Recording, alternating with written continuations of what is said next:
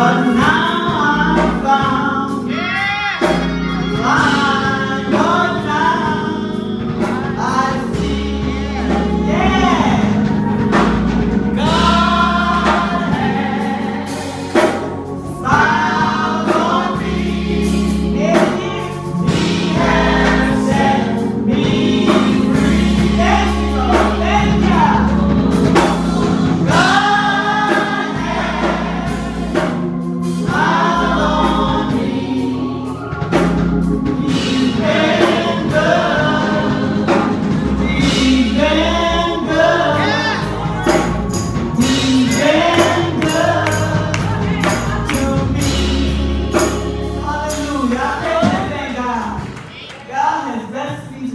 80 years. Yeah.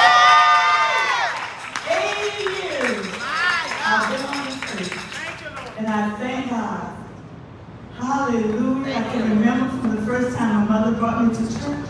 I was about five years old. Yes. That's why it's good to have a praying grand, a praying mother. Yes. Hallelujah. My mother kept that Bible on her And she raised ten of us.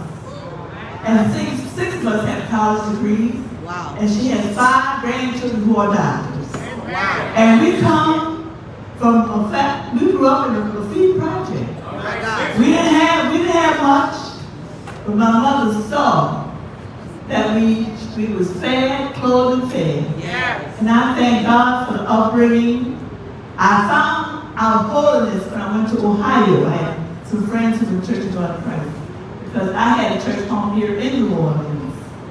And when I came back home, they, one of my friends wrote to say, Marie, when you get back home, seek out the Church of God in Christ. Uh-huh. But I didn't exactly know what she meant. But God knew what she meant because He brought me to Prayer Tower, Rest Home. And when I got that interview with Mother Harper, I was crying. I said, why am I crying going on this interview? Oh, because I was had not gotten used to the city, you know, when, I came back. And uh, from that point on, I would participate in some of the services at the old church. And then we came over here to the new church when Bishop Lindell Brown came. And that's when I journeyed in 1982.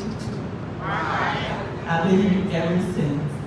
And I met some wonderful people. All those people that's on that wall right there nurtured me to where I am. And I won't look back. In spite of what I go through, all my challenges, Yeah. sicknesses, Yeah. surgeries I had. I said, Lord, give me the strength to make it through. You. Because what you all said today, I believe. I used to have a program with missionary field workers, and that was the lesson on my program. I believe. Wow. And I still encourage myself, no matter if the devil try to get to you, just tell yourself, I believe. Resist the devil he will flee from you. I don't care where you come from, how you been, or what it is. You know, God loves everybody. He loves, what he hates is a sin. But I don't care what part of life that you've been through, God still loves you. Don't give up on him and he won't give up on you. Yes. And I thank you guys.